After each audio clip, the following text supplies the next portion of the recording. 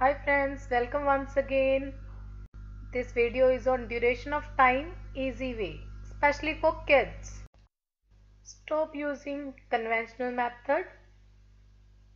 Stop calculating time on fingers or by splitting time into hours and minutes.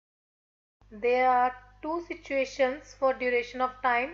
We may have given the finishing time and duration and we have to calculate starting time or we may have given both the times that is starting and ending and we have to find duration.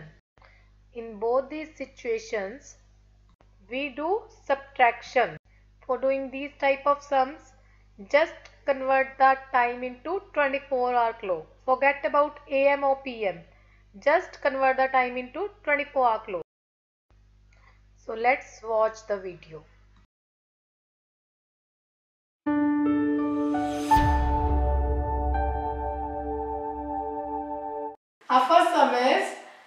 35 minutes before 6.40 pm.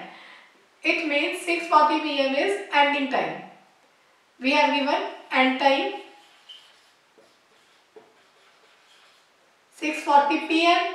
6 convert it into 24 hour clock. We got 1840. And now 35 minutes before. Before means we have to subtract minus 35 we got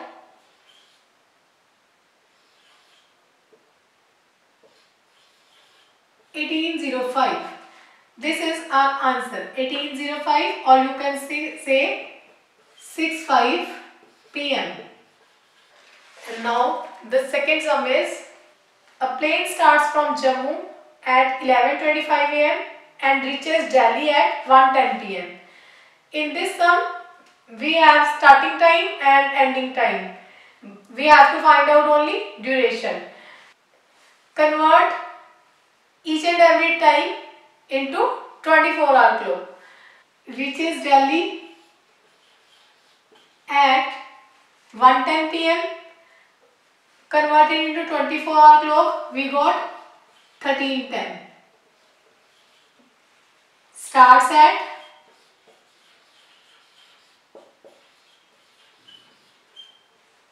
Eleven twenty-five a.m. So, 24 o'clock we will write out it as 11.25.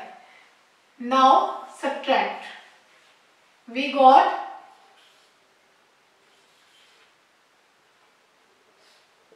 one eighty-five.